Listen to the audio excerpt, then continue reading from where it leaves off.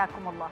من كان يعتاش على الأزمات بين بغداد وأربيل لا يؤمن بحقيقة الوصول إلى حلول جذرية وحلحلة للمشاكل بالجلوس على نفس الطاولة التي أنجبت الحكومة. فالرواتب حق الموظفين سواء كانوا في الجنوب أو في الشمال. ولا مناص عن صرفها. شرط أن لا تصطدم بالعوائق القانونية أو الاتفاقات السياسية.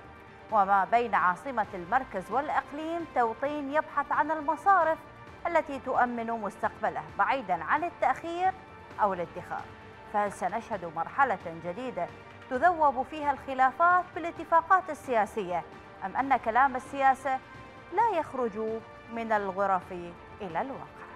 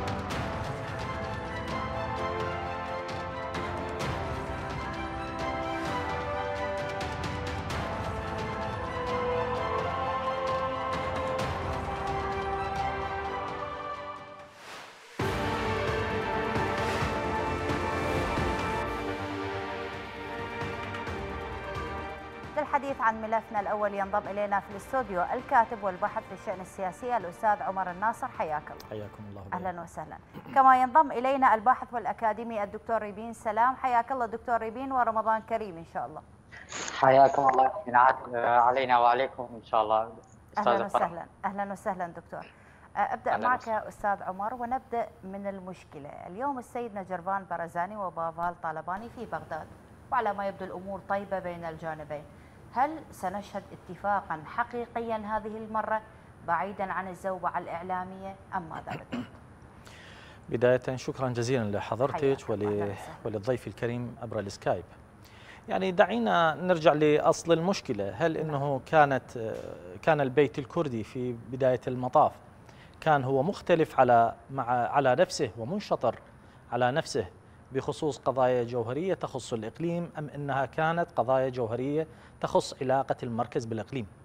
أنا أعتقد أنه الموضوع هو يؤخذ بسلة واحدة. تأثير القرار السياسي ما بين بغداد وأربيل هو جزء مهم من الخلافات السياسية ما بين السليمانية وأربيل. إذا أصل المشكلة هو يرجع إلى المساومات السياسية وإحدى هذه المشاكل بعد عام 2014 أصبحت الهوة والفجوة عميقة عندما دخلت حكومة بغداد وأصبحت لها سيطرة واضحة على كركوك. هذه هي جزء من, من الأشياء التي هي أصابت البيت الكردي بحالة من التشرذم والانقسام بعد أن كان يذهب في مرات ماضية أو بعد عام 2003 إلى مبدأ التحالفات الاضطرارية مع بغداد. في حين تجده في هذه الموضوع. الاضطرارية لربما تحالفات استراتيجية بعيدة المدى. لا يوجد هنالك في لغة الفقه السياسي في العراق وفي العملية السياسية شيء اسمه التحالفات الاستراتيجية. هنالك تحالفات مؤقتة مبنية على المصالح المشتركة نعم. تنتفي الحاجة لها عندما تختلف المصالح. لذلك تجدين ما بين الفينة والأخرى تجدين أنه الأطراف السياسية جميعا هي تذهب إلى لعبة تبادل الأدوار. تجدين يوم أمس كان هنالك تحالف طولي وتحالف أفقي. اليوم اختلف الموضوع. في نهاية المطاف سيكون هنالك بلا شك قناعة حقيقية للخروج من شرنقة الانعزال السياسي وبالتالي سوف يكون هنالك توافقات على غرار نعم. ما جاءت به العملية السياسية أكو مباحثات وحوارات مثمرة بين أقليم كردستان وبين الحكومة الاتحادية لكن شنو الفائدة؟ عادة ما تكون هشة وبعدين كل الأمور تدمر لذلك أنا ذكرت قبل قليل لا لا توجد إذا تحالفات استراتيجية هذه المرة مختلفة لو لا؟ هذه المرة هي حالها حال بقية المرات السابقة الكرد فيما مضى كان لهم قرار موحد عندما تقتضي المصلحة القومية بالذهاب إلى بغداد بقرار سياسي واحد كانوا يتناسون الخلافات ويذهبون إلى هذه التحالفات من أجل نيل المصالح المشتركة للطرفين. فكانوا فيما سبق هم بيضة القبان. أما اليوم الأمر مختلف تماما ولم يعد يوجد هنالك ثقة ما بين الطرفين. لكن أنا بقرارة نفسي أعتقد أنه قوة المركز هي من قوة الإقليم. وقوة الإقليم من قوة المركز على أن يكون هنالك تنفيذ للالتزامات الالتزامات والاتفاقات نعم. المبرمة ما بين الطرفين وضحت الفكرة الدكتور ريبين حياك الله من. جديد نعم. إذا المشكلة مشكلة داخل البيت الكردي اليوم البيت الكردي مدمر سياسيا لذلك أنتم ما عندكم جبهة قرار موحدة تتفاوضون بها مع بغداد وهذه ربما هي جزء من المشكلة اليوم أكو توافق بين اليكتي والبارتي للتفاوض مع بغداد كجهة موحدة ورصينة ورسمية؟ لو شلون؟ طبعا بداية بسم الله الرحمن الرحيم. آه، تحياتي لحضرتك ولضيفك الكريم المحترم آه، وكافة المشاهدين. وينعاد علينا وعليكم إن شاء الله عيد رمضان مسبقا. شكرا آه، جزيلا. بالصحة والعافية على الجميع. مسألة هذه هذه النظرة للمشهد السياسي. يجب أن لا ننسى بأن الذي عقد المشهد السياسي في العراق برمتها وفي إقليم كردستان أيضا هي آه، آه، تكوين آه، المجتمع العراقي بشكل عام يتكون من ثلاثة ركائز رئيسية تتمثل بالمكون الشيعي والسني والكردي وفي داخل البيت للمكونات الثلاثة الرئيسية يوجد ازدواجية متضادة متلازمة مع بعض. فشهدنا في آه، آه، يعني في العمليات والقرارات السابقة الجوهريه آه، بالنسبة للكرد توجد الاتحاد الوطني والديمقراطي الكردستاني وتوجد في البيت الشيعي التيار الصدي وتيار وتيار الإطار التنسيقي جماعة الإخوان نعم. الإطار التنسيقي يوجد في البيت السني تحالف العزم كانت والسيادة فهذه الازدواجية المتضادة بين ثلاثة مكونات رئيسية للعراق آه، أصبح وإصدار القرارات ووصول إلى توافقات مسألة صعبة آه، نوعا ما والدستور باعتباره آه، الآلية التي رسمت لهذا النظام السياسي الجديد المتمثلة بالفيدرالية لم ينفذ حتى نشهد آه، استقرارا وحتى نشهد مرجعية عالية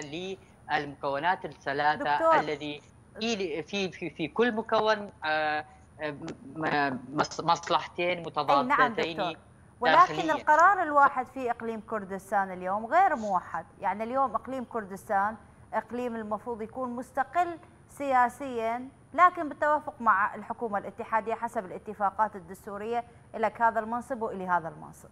لكن ما نشوفه اليوم مختلف تماما. اليوم أكو مشاكل جذرية وحقيقية مع الحكومة الاتحادية، منو يتحمل مسؤوليته؟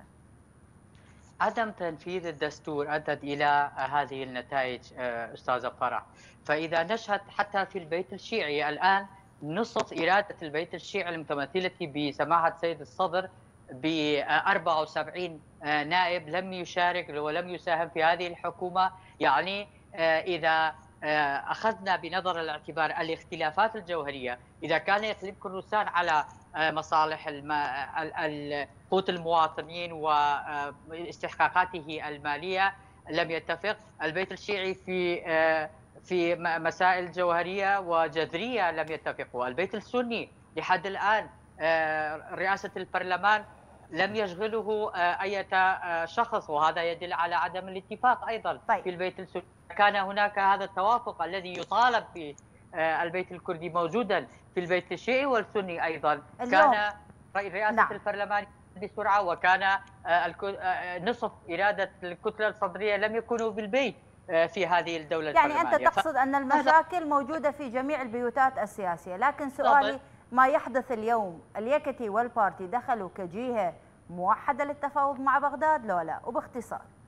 لا آه، شاهدنا السيد بابل طالباني تحدث برؤية مختلفة عن مجهود الذي تمت. وأيضا هذه المشاكل معظمها تعرض لها الإقليم كردستان بسبب رفع الدعوة. كما تفضل ضيفك الكريم نعم. أتفق مع جوابه.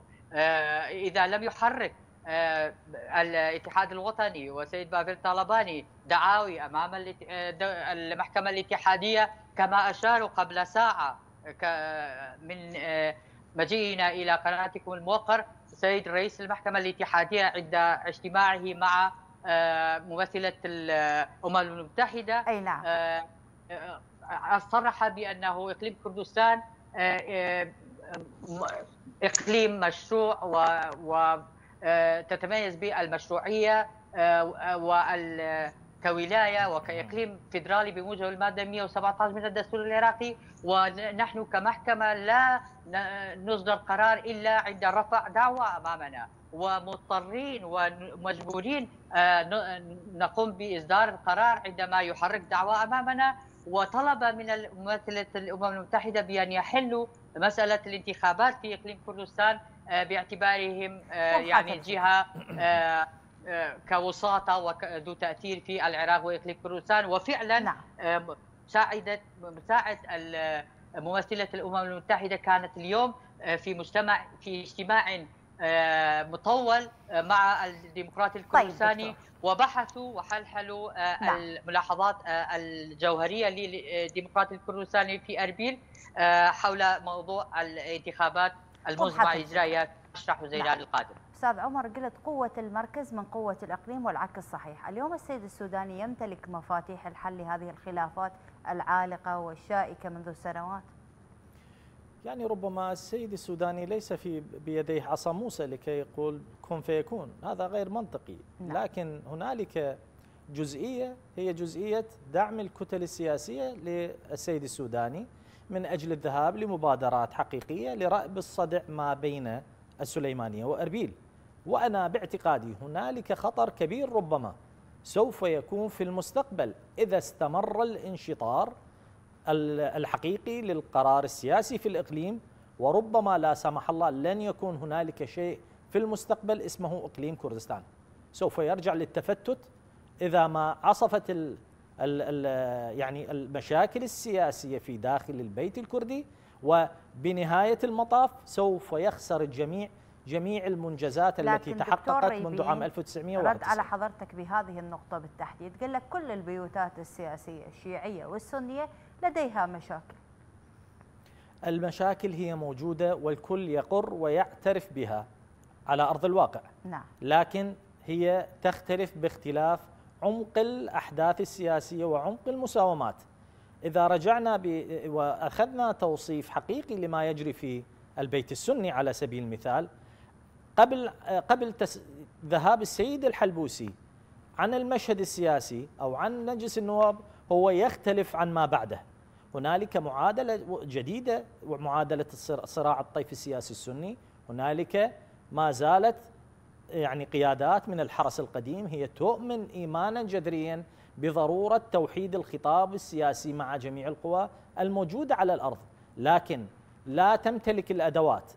ما أشار إليه الشيخ خميس الخنجر قبل أيام في لقائه على إحدى القنوات كان هو حقيقة يصب بمصلحة الجميع ومسألة أن يوجد هنالك توازن مع كل القوى السياسية هو أمر ضروري للغاية. وما تفضل به السيد عمار الحكيم في الكثير من الأماكن والأحداث وبقية الرموز السياسية هو أمر دقيق جدا. اذا نحن نحتاج إلى إعادة الثقه ما بين الجميع لكي يكون مبدأ المحاصصة الطائفية هو خارج هذا الموضوع. هذه النقطة كلها صعبة، هسه إحنا والله المواطن العراقي احتار يسمع الخطابات السياسية بين أقليم كردستان وبين الحكومة الاتحادية، الجماعة يقولون يجب الالتزام بالدستور الحكومة الاتحادية يقولون يجب الالتزام بالدستور. لما هو الدستور منبع التشريعات؟ اليوم أكو جهة تلتزم له أكو جهة تقفز على الدستور العراقي ومن هي أستاذ عمر؟ يعني أنا كمختص في القانون يعني هنالك عدة دساتير. هنالك دساتير جامدة وهنالك دساتير مرنة. زين. وهنالك دساتير مدونة وهنالك دساتير عرفية. العراق أو الدستور العراقي الدستور هو دستور جامد لا يحتمل أي تعديل إلا بتوافق سياسي حقيقي ما بين جميع الأطراف المشاركة تحت لواء العملية السياسية. وموضوع أي تعديل يؤخذ بنظر الاعتبار سوف يثير حفيظة الكثير من الأطراف وسوف لا يناسب بالأخص البيت الكردي لأن التعديل فيه سوف يؤدي إلى خسارة بالمكتسبات التي وضعت بعد عام 2003 والتي جاءت حسب ما نص بها الدستور آه، رئيسي في العملية السياسية. غير تضمنون كقادة سياسيين كرجال دولة يضمنون حسب التوافقات السياسية. رضا الأكراد قبل التعديل في هذه القوانين؟ يعني هو الموضوع آه، لا يؤخذ بها بهكذا طريقة. إذا رجعنا بفلاش باك إلى الوراء سنجد بأن الدستور هو لم ينص على المحاصصة الطائفية. وإنما هي بدعة وعرف سياسي أصبح كما أصبح منصب رئيس الجمهورية ومنصب رئيس الوزراء للشيعة ومنصب رئيس مجلس النواب للسنة وإلى آخره. أنت تتحدث لم يكن بهذه الطريقة. أنا أتحدث لك شيء عن أرض الواقع. نعم. اليوم الدستور ما يمشون به. يمشون بالاتفاقات السياسية. حتى إذا أرادوا يعدلون قانون واحد يجب أن كلهم يجتمعون ويوافقون أو ما يوافقون. وراح نرجع لنقطة السلة الواحدة. مرر لي هذا القانون هو مرر لك هذا القانون. الحل هو في طريقين. أما مغادرة المحاصصة المكوناتية المقيتة التي جاءت بعد عام 2003 والذهاب إلى نظام رئاسي أو شبه رئاسي أو أن نذهب إلى بناء دولة مؤسسات وتطبيق الدستور من خلال الاتفاقات السياسية والالتزامات التي أبرمت ما بين بغداد وأربيل وأن يكون هنالك احترافية حقيقية بتنفيذ جميع مواثيق الشرف التي تم التوقيع عليها بعد عام 2003 شرف؟ اليوم أنت عندك دستور ليش تحتاج ميثاق شرف؟ ممكن ينفذ هذا الطرف أو ما ينفذ ذاك الطرف. نعم. الدستور اليوم ما زال معطل للأسف الشديد. هنالك الكثير من القضايا التي نحن بأمس الحاجة لأن, لأن آه، يعني الدستور يأخذ مساره باتجاهها.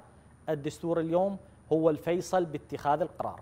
فيصل. والمحكمة الاتحادية هي الجهة القضائية التي بإمكانها أن تفصل ما بين القرارات الصارمة والقرارات الجريئة من القرارات التي فيها إذن نوع من التمام نعم. إذا دكتور ريبين اليوم الدستور هو السائد لو الاتفاقات السياسية هي السائدة من وجهة نظرك.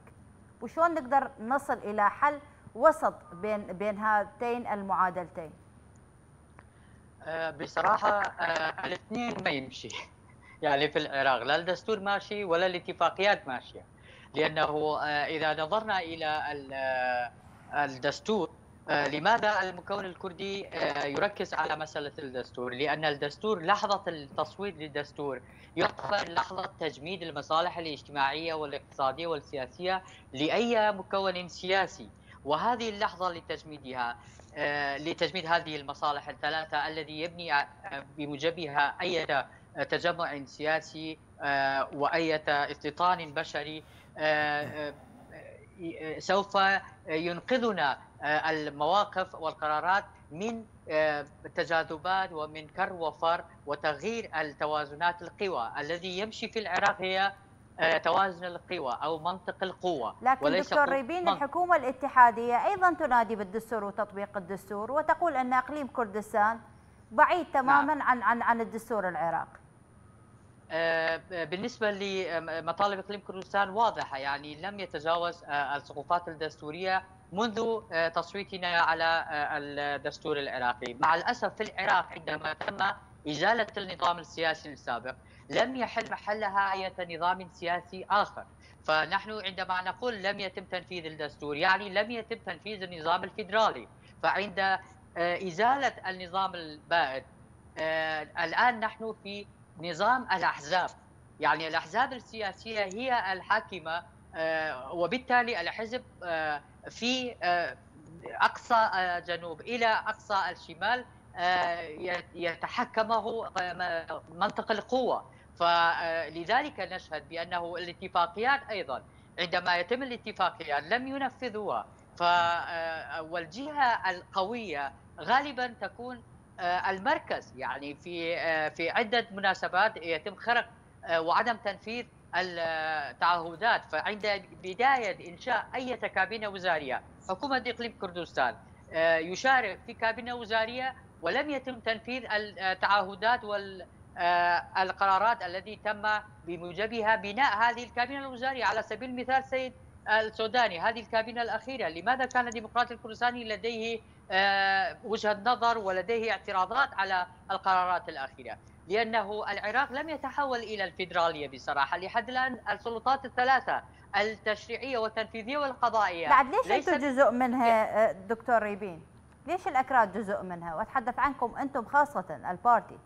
ليش إذا أنتم مو موافقين على كل هذا وتقولون أنه هو مو دستوري ولأنه الفيدراليه ما تطبق؟ ليش أنتم جزء من هذه العملية؟ ما هو انسحبت مسألة ممثل الديمقراطي الكردستاني يعني ممثلا ب آه، القاضي عبد الرحمن زباري شهدنا كلنا في الأسابيع الماضية القليلة انسحب من السلطة القضائية انسحب من آه، طيب المحكمة كل هذا معلوم حتى أستثمر الوقت ويا حضرتك دكتور اختصاصاتها بس لو سمحتي نعم. آه، أستاذة فرح السلطات الثلاثة ممكن اثبتها لجنابك الكريمة بأنها غير فيدرالية المشكلة عند إزالة النظام مثل ما تطرقنا واشرنا إليها آه، لم يحل محلها طيب. نظام فيدرالي السلطه التشريعيه يجب أن يكون بموجب الماده 65 أن يكون متكون من تش... من مجلسين آه، لتشريع القوانين. زين. هذا بكل الأنظمة الفيدرالية هكذا. زين. دكتور ريبين هسه المشكلة صارت. وما حدث قد حدث خلال كل هذه السنوات. اليوم أكو فرصة حل أكو فرصة توافق بين الطرفين لي الموظفين راح تأثر هذه المواضيع على رواتبهم. لو الموظف في اقليم كردستان راح ياخذ راتبه بكل سهولة ويسر. المشكلة نحن نتحدث عن نتائج المشاكل ولا نتحدث عن أسباب الرئيسية للمشاكل. لذلك لا يتم آه، الحلول. لم نصل إلى الحلول. جميع القنوات الفضائية والشاشات الفضائية وجميع المشاهدين الكرام الآن حاضرين هذا الحوار آه، يحسون بأنه نحن نتحدث عن نتائج المشاكل.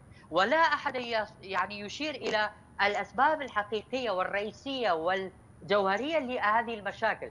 فعدم تنفيذ الدستور وعدم تحويل العراق إلى فيدرالية وعدم وجود توازن في ممارسة السلطات الحقيقية يطالب من إقليم كردستان أن يكون فيدراليا وأنت بنفسك لم تتحول إلى سلطة فيدرالية. لحد الآن منذ 2005 لحد هذا اليوم زي. 19 سنة مرت ولم تتحول نظامك إلى فيدرالي. فبأي حق تطالب من إقليم كردستان أن ينفذ جميع بحذافيرها جميع الالتزامات الفيدرالية؟ علما بأنه أنت لم تقم بتنفيذ المادة 140 على سبيل okay المثال. okay دكتور حتى حتى أفهم نقطة مهمة من جنابك نعم 31 الان 2031 12 2007 كان آخر نعم. يوم لتنفيذ المادة 140 والالتزام حتى أفهم نقطة مهمة من جنابك لم يقم بها نعم اليوم هذه اللقاءات هذه اللقاءات وهذه الحوارات لتسليط الضوء على المشاكل ثم إيجاد الحلول ولا لقيتوا حل مشترك؟ الآن إنها آه، حلول آه، آه، نتصور بأنها مرحلية بصراحة. سيد السوداني ومن المزمع بأن يسافر إلى واشنطن في 15 4 نعم. ويعني يتطلب هذه هذا السفر بأن يكون بمباركة إقليم كردستان لأنه شهدنا بوزارة الخارجية الأمريكية صرحوا بأنه السيد السوداني يفترض بأن يحل ويصفر مشاكله مع إقليم كردستان قبل أن آه، يتوجه إلى واشنطن في 15 4 فنحن آه، الآن آه، في مرحلة استثمار تواجد السيد رئيس الإقليم من قبل الإخوان في الإطار التنسيقي الذي اجلوا اجتماعهم هذا نعم. مرتين كان من المزمع اذا اذا بترحيب يوم الأربعاء بترحيب كردي الاجتماع بترحيب هذا كردي من جهة. مو بمباركه لأنه الإقليم كردستان جزء من العراق بس حتى اوضح هذه النقطة دكتور صحيح صحيح نعم. يعني هو اقليم كردستان من خلال زيارة سيد رئيس مجلس الوزراء سيد مسؤول بارزاني نعم.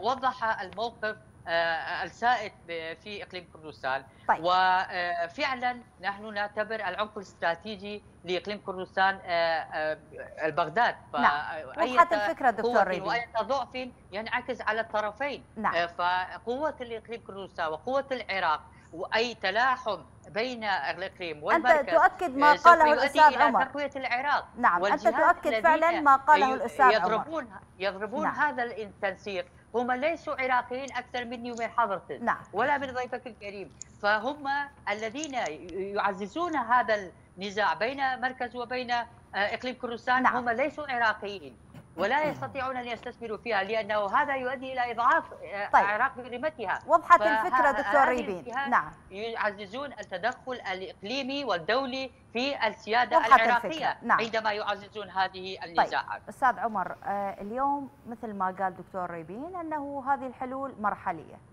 اليوم راح نشهد أكو بعد خاصة زيارة السيد السوداني إلى واشنطن وقال بترحيب كردي ممكن نشوف حلول واقعية وأنا ما أعرف شنو الربط بين الترحيب الكردي وبين زيارة السيد السوداني إلى الولايات المتحدة على حل الخلافات بين الأقليم وبين الحكومة الاتحادية. يعني ابتداء ما تفضل به الضيف الكريم هو دقيق جدا. نعم. الحلول الحالية هي حلول مرحلية. طيب. والكوميديا السوداء هو أن تكون هنالك تدخل من قبل الولايات المتحدة لأجل حل مسألة داخلية ما بين الإخوان. هذه هو هذا هو الموضوع يعني يثير الجدل حقيقة. يفترض أن يجلس الفرقاء فيما بينهم دون الحاجة إلى تدخل أي جهة من الجهات السياسية الخارجية. هذا هو المنطق. أما بما يتعلق بعلاقة المركز مع الإقليم هل سوف يكون في المستقبل القريب ربما هنالك انتقال إلى واقع أفضل؟ أعتقد أنه الانتقال المرحلية الحالية سوف تؤسس إلى مرحلة جديدة من البدع السياسية. إذا لم يكن هنالك جذور آه، معالجة لجذور المشاكل التي قد عصفت بالواقع السياسي ما بين بغداد وأربيل. ترحيل المشاكل سوف يعقدها أكثر. نعم. كلما زادت من عدم تطبيق الالتزامات من قبل المركز والإقليم تجاه بعضهم البعض سوف يزيد من الهوة الموجودة فيما بينهم. شكرا جزيلا الكاتب السياسي آه، عمر الناصر. شكرا جزيلا على كل ما تفضلت به. أيضا الباحث آه، والأكاديمي الدكتور ريبين سلام حياك الله. كنت معي من أربيل. شكرا جزيلا شكرا. على كل ما تفضلت به من هذه الإيضاحات. إذا مشاهدينا ومتابعينا ملفنا الثاني راح نفتحه وإياكم بتقرير للزميل شيبان سامي عن المباشرة بإجراءات تنفيذ مشروع معالجة النفايات لتوليد الطاقة في بغداد. على مدار اليوم تدخل الشاحنات محملة بأطنان من النفايات متجهة إلى الطمر دون الاستفادة منها. أمانة بغداد وأخيرا تكشف الغطاء عن مشروع معالجة النفايات لإنتاج الطاقة الكهربائية. بعد تخصيص قطعتي أرض في جانبي الكرخ والرصافة والتي اعتبرتها من الملفات التي تعود بمردودات مالية وبيئية. الذهاب إلى توفير الطاقة أعتقد هو من أولويات السلطة التنفيذية والجهات المعنية وبالتالي يكون هنالك تداول على آه، مشاريع جديدة لتدوير النفايات والاستفادة منها لمجالات الطاقة وربما أيضا لتقنين التكلفة في هذا الملف. أعتقد اليوم كثير من الدول التي سبقت هذا في هذا تطبيق هذا المشروع وبالتالي هنالك تجربة تجارب عديدة آه، درستها أمانة بغداد وبالتالي اليوم الضغط على أمانة بغداد لتوفير أفضل الخدمات وبالتالي كان هذا الاختيار لأمانة بغداد. في بغداد يوميا يتم فرز ثلاثة آلاف طن من النفايات التي تطمر بطريقة غير صحية ما ينعكس سلبا على الواقع البيئي بعد تصدر العراق المرتبة الأولى عربيا بتلوث الهواء. مراقبون أكدوا أن الشروع بهذا المشروع سوف يحقق قفزة نوعية في إدارة ملف النفايات المنتشرة في العاصمة. طبعا هو خطوة حقيقة جديدة على البلد إضافة إلى أنه حسب ما سمعنا أنه راح تقوم تقوم شركات آه، بالاستثمار النفايات اللي منتشرة في كل أنحاء البلد صراحة. وهذه خطوة نوعية وانتقالة جديدة في الحفاظ على الصحة العامة للمواطنين وانتقالة جديرة بالاهتمام. بعدما أصبح العراق بالمرتبة الأولى عربيا والسادس عالميا بنسبة تلوث الهواء فرص استثمارية جديدة لتحويل آلاف الأطنان من النفايات إلى طاقة كهربائية. من بغداد شيبان سامي الأيام الفضائية.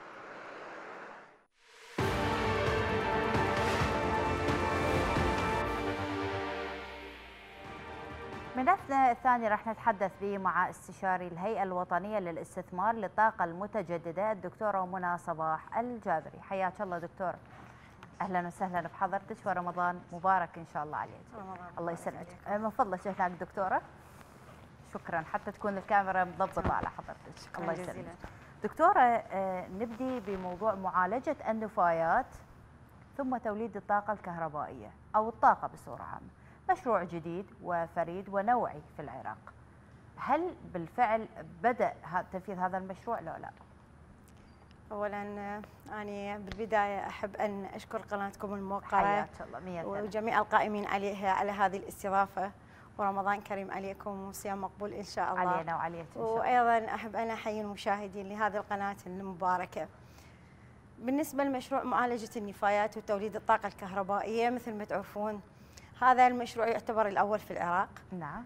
آه بداية المشروع طبعا منذ سنوات كانت هناك العديد من اللجان شكلت والعديد من الدراسات التي آه، أخذت على عاتقها آه، جدول اقتصادية لهذا المشروع. لكن ما كان لها خلينا نقول نتائج. الحمد لله تبنت الهيئة الوطنية للاستثمار منها نتائج؟ يعني المشكلة بالتخصيصات المالية مشكلة بعدم دراسة جدول اقتصادية من من معالجة النفايات وين المشكلة؟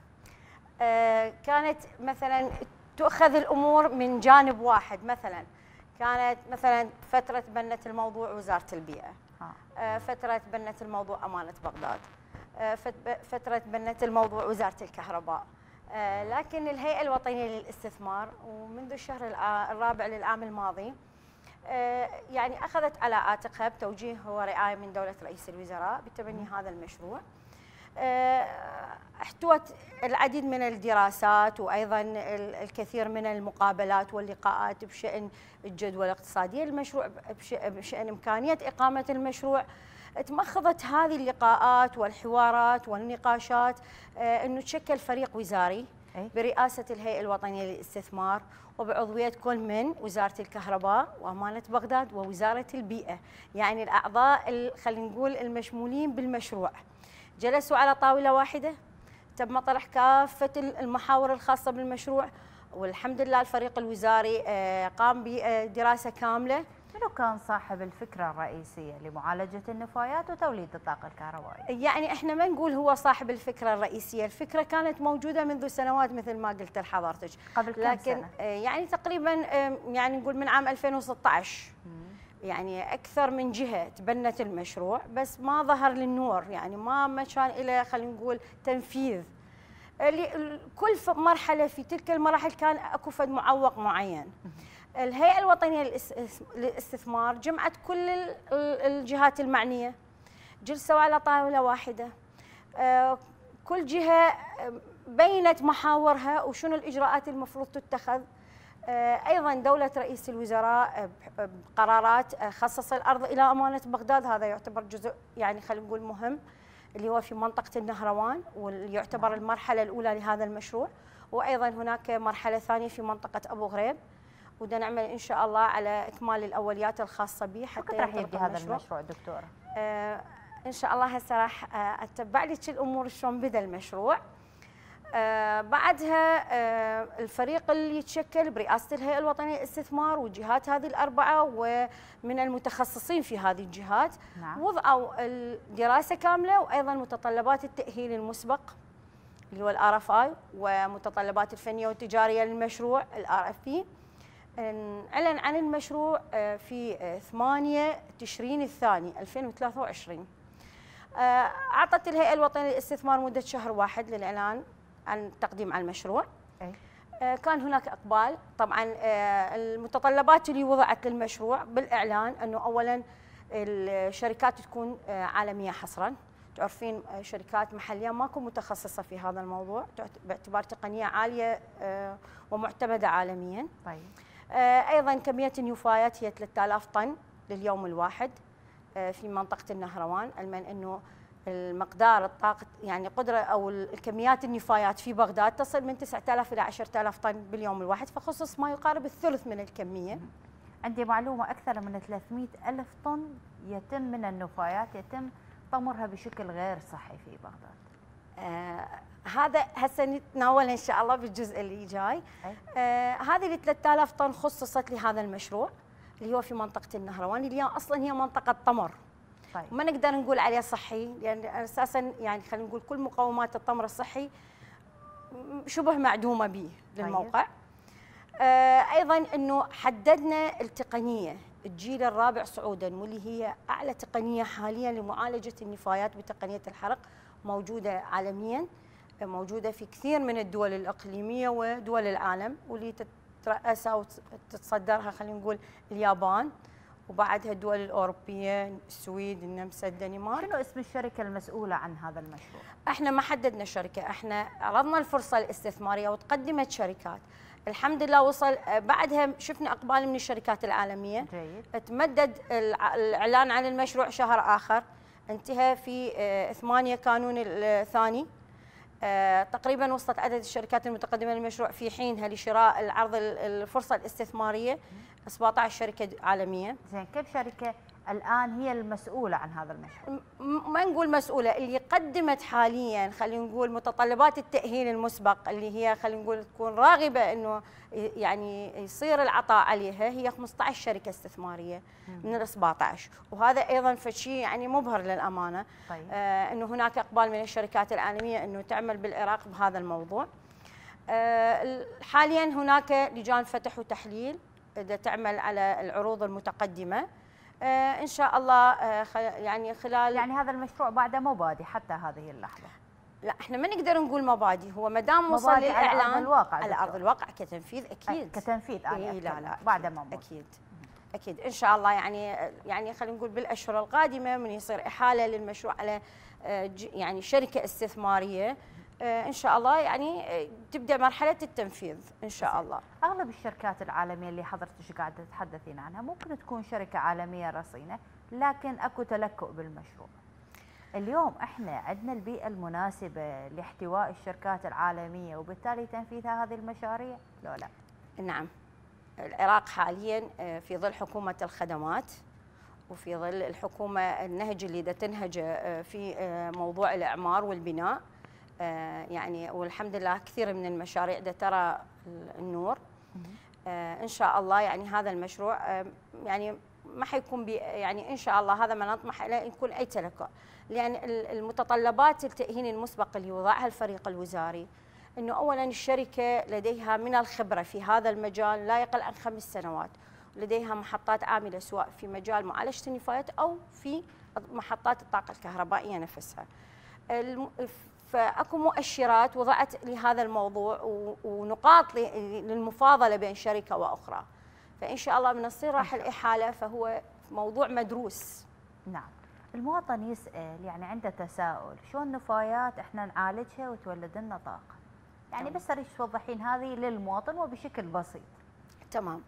آه طبعا هو موضوع معالجة النفايات لإنتاج الطاقة الكهربائية موضوع جدا قديم.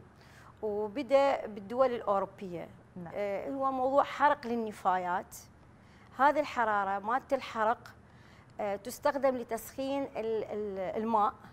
يعني النفايات تحرق الزجاج والبلاستيك هسه جاية لو كلنا لا على لا مو بهالطريقة يعني. آه طبعا هاي التقنية تقنية الجيل الرابع وحتى الجيل الثالث اللي سبقتها. اولا هناك ما نقول فرز يعني فرز بمعنى الفرز وإنما مو كل اللي, يدخل يحرق. يعني بالبداية أكو فرز أولي لمواد الزجاج مثلا هذه غير قابلة للاحتراق وغير مفيدة بالحرق. هذه يتم عزلها. طيب. طبعا موجب السيستم للتكنولوجيا هذه. نعم. أيضا المعادن وأيضا أكو مواد خطره ومسرطنه يتم فرزها في البداية قبل الحرق. بعدها تتحول باقي المواد إلى محرقة. شنو اللي يحرق؟ حتى يولد طاقة. يحرق المواد العضوية الورق الزج الكرتون البلاستيك. البلاستيك. هذه كلها تحرق. بعد الحرق آه، هناك آه، رماد الحرق. رماد الحرق هم بإعادة تدوير. ها يعني أنت حضرتك قلتي؟ هسه أحرق البلاستيك وهذه المواد العضوية تمام. والورق. شلون قلتي شيء يتعلق بالماء؟ يعني شلون يسخن ماء حتى يستخدم؟ هذه الحرارة يعني خلينا نقربها إلى فشي مبسط. هذه النار للحرق أي. اللي إذا تحترق هذه المواد شايفين إحنا من يعني خليني أبسطها بعد أكثر. شايفين إحنا من نكون العفو مجموعة نفايات في أو كمية نفايات ونذب عليها فد كمية بسيطة من ال نعم. ال ال النفط وغيرها وأشعلها تبدي النار. صحيح. هذه النار نفسها يعني نار ال- الحرق حتستخدم لتسخين ماء يتحول إلى بخار هذا البخار يدور توربينات. تولد الطاقة الكهربائية هذا فد شيء مبسط جدا يعني لا واضحة واضحة جدا للتكنولوجيا. زين حضرتك قلتي ممكن الاستفادة من الرماد هسه نعم. فهمنا طاقة ال- الحرارية راح تحرك التوربينات ونحصل على كهرباء نعم. زين الرماد الرماد؟ جزء من تعرفين مو كل المعادن أفرزت بالبداية أكو جزء جزء من المعادن صارت بالحرق فهذه كتل المعادن أيضا راح تفرز من هذا من ال- الرماد وهذا الرماد أيضا ممكن إعادة تدويره لاستخدامه في آه، معامل السمنت أو الصب الكونكريتي وغيرها. فايضا يعني خلينا نقول هي التقنية من الجيل الرابع إن شاء الله هو بدون انبعاثات بدون مخلفات. شيء جدا جميل. زين. القزاز والمعادن شلون راح يتعامل تتعاملون وياها عندما تفرزوها على جيل نعم. شلون بعدين راح هذه إعادة؟ تدوير. معامل إي معامل التصنيع الزجاج معامل تصنيع المعادن. التكلفة لهذا المشروع دكتوره يعني هو فد شيء آه، أولي إحنا آه، خليناه بعد ما وضعنا خلينا نقول المتطلبات والتقنية وأيضا هم تعتمد على تقنية الشركة ممكن تقدم تقنية أو متطلبات أكثر داخل المشروع. آه، يعني مبدئيا فد شيء م- مقارب ل 5 مليون يعني 500 مليون دولار. هذه سنويا؟ لا كلفه المشروع. كل كلفه المشروع؟ إيه. زين. إيش قد يكلفكم سنويا أو شهريا؟ يعني شنو يكلفنا؟ هو استثمار. ما راح يكفي الشركة الدولة؟ والشركة هي هي راح تتولى راح. تشتغل. جيد. يعني ما راح يكلف الدولة؟ أي زين. شيء آه ردت أسأل حضرتك هسه اليوم إحنا عندنا تمر غير صحي وهذه النقطة. قلتي لي بعدين راح أتحدث بها وياك. أكثر من 300 ألف طن هذا تمر غير صحي. هذا شلون يأثر على البيئة؟ مع العلم أنه العراق ترى الرقم الواحد ملوث في الدول العربية. صحيح. هاي مشكلة خطيرة دكتور آه طبعا يعني حاليا آه ما يقارب 40 ألف طن سنويا من النفايات في في آه العراق. آه كمية النفايات مثل ما ذكرت لحضرتك 10000 طن حاليا في بغداد يوميا. آه موضوع التمر هو ليس 10,000 صحي. توزع على أماكن على مناطق. منطقة آه، خاصة لا لا هي. مناطق مخصصة للتمر بس للأمانة هي مو تمر صحي يعني من ترجعين إلى المحددات للتمر الصحي. هي مو موجودة بال, بال... خلينا نقول بال... بالمقاييس العالمية. فهذه الملوثات. أولا شنو شنو فائدة هذا المشروع؟ إحنا ليش توجهنا إلى معالجة النفايات بطريقة الحرق؟ اولا عالميا كل التوجهات لهذه ال- التقنية لأسباب. اولا عندك الأراضي. بما يعني يقارب 2 دونم يوميا انت دا تستهلكين أراضي لأغراض التمر أوه. فتخيلي بعد فترة معينة. اثنين دونم يومياً. يوميا. طبعا أكو أشياء ما تتحلل مثل البلاستيك بالضبط. يراد له ملايين السنوات حتى بالضبط. يتحلل. بالضبط. هذا دا يسبب لك إلى تلف الأراضي. وهذه الأراضي أنت ممكن تستثمريها اقتصاديا زراعيا سكنيا. هذه وحدة. ثانيا ال- ال- المستحلب للعفو النفايات. دا ي- دا- دا يتغلغل داخل الأرض دا يروح يتلف لك المياه الجوفية. فهذه اللي هي خزين استراتيجي هذه تحتاج ما يقارب العشرين سنة حتى أنت تقدرين تعالجيها. في حال بقاء هذه المستحلبات لتتغلغل داخل هذه الماء. دكتورة إذا إذا الحسبة 2 دونم يوميا يخسر العراق جراء التمر الصحي لا ستاندر. عالمي. ستاندر عالم لعج قد خسرنا خلال السنوات الماضية. فاحنا يعني نجي إلى موضوع تلوث الهواء واللي هو أيضا أكبر مشكلة حاليا. هذا بقاء هاي الكميات من النفايات دا يسبب لك انبعاثات؟ هذه الانبعاثات تسبب إلى أوبئة وأمراض. الدولة في حال لم تقم هكذا مشروع واللي إحنا محددين له كفريق وزاري من وضع المتطلبات قال 25 سنة استثمار. خلال ال 25 سنة في حال عدم إقامة المشروع بقاء هذه الكميات من النفايات إيش قد راح تسبب لك أمراض؟ إيش قد تحتاجين مستشفيات؟ هذه تكلفة على الدولة كادر طبي. مواد طبية ومواد آه، خلينا نقول معالجة. فهذه كلها كلف يعني ترهق الدولة. هذا كلها راح يختزلها هذا المشروع. ويوفر لك بيئة صحية آه، مساحات خضراء. يعني أنت راح تختزين بكل الأراضي. أيضا دعم لاقتصاد البلد باعتبار راح أنت تستثمرين هذه الأراضي سواء زراعية أو صناعية أو تجارية. راح تنطون راح تنطون هذه المشاريع لشركات أو مصانع لإعادة التدوير. لو الآن عملكم فقط على توليد الطاقة الكهربائية. هو للأمانة إحنا ما كانت الغاية هي يعني حصريا إنه لازم نحصل كهرباء، الكهرباء ناتج عرضي ولو إحنا يعني بالعراق إحنا محتاجين هكذا مشاريع. محتاجينها جدا في في في ظل إنه آه، إحنا عندنا آه، يعني يعني ضعف أو نقص في كمية الطاقة الكهربائية المتولدة خاصة في فصل الصيف. نعم. فراح يغطي لك هذا جزء منها. إذا أنت تقيمين أكثر من مشروع مثلا في بغداد وباقي المحافظات راح يغطي لك جزء كبير من النقص في موضوع الطاقة الكهربائية. كانت الغاية الأساس من المشروع هو موضوع صحي بيئي. أني أريد أتخلص من النفايات نعم. بأكبر قدر ممكن وبنفس الوقت أحافظ على بيئتي وعلى المواطن في بيئة صحية. أقلل من كمية الأمراض اللي ممكن والأوبئة اللي ممكن تتولد عندي في فترة. باقل من دقيقة أقل من دقيقة دكتورة. بصراحة اليوم أكو تخوف يقول لك خاف هذه المعالجة تسبب لي آه، تلوث بعد بالهواء. أكثر مما العراق متلوث حاليا. هل هذا التخوف موجود؟ لو شو تطمئنين المواطن؟ لا آه، يعني على التقنية اللي إحنا اختاريناها اللي وحددناها حتى كل الشركات للأمانة من سوينا لهم مؤتمر أشادوا إنه أنتم بدأتم من حيث انتهى الآخرون. أحدث تقنية اللي هي بدون انبعاثات بدون ملوثات بدون روائح. إن شاء الله. شكرا شاء جزيلا الله. استشاري الهيئة الوطنية للاستثمار للطاقة المتجددة الدكتورة منى صباح الجابري. حياك الله وبوركت جهودكم. إن شاء الله ونسأل الله لك كل التوفيق بإذنه تعالى. شكرا جزيلا لكم وقناتكم الموقرة والمشاهدين الكرام. شكرا حبيبتي ممنونه على هذه الاستضافة. شكرا حبيبتي. قبل لا نروح الموجزنا نختم حلقتنا خلونا نشوف أبرز الآراء على منصة إكس حول استقبال محافظ كربلاء المقدسة للمدعو أبو شاهين والذي أثار تحفظ العديد من المدونين. لنتابع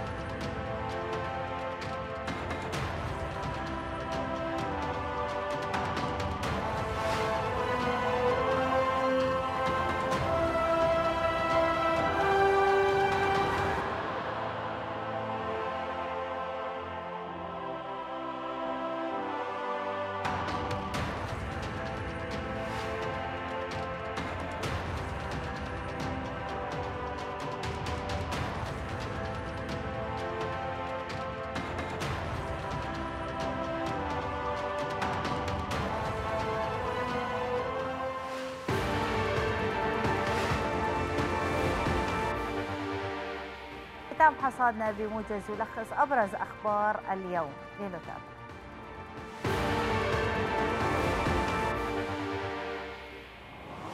وزير الداخلية يوجه ببناء قواطع على الخطوط الدولية والسريعة للحد من الحوادث. صندوق استرداد أموال العراق يعلن استرداد نحو مليوني دولار من حساب شركة السكك الحديدية. وزارة المالية تنفي إيقاف تمويل المشاريع الاستثمارية الخاصة بمحافظة البصرة وباقي المحافظات. جهاز الأمن الوطني يعلن تفكيك شبكة ابتزاز في محافظة نينوى يقودها إرهابي خارج العراق. وأخيرا النزاهة تعلن صدور قرار حكم حضوري بالحبس لمدة أربع سنوات على ضابط كبير في جهاز الأمن الوطني. الحصاد انتهى. شكرا على كرم المتابعة وتصبحون على خير.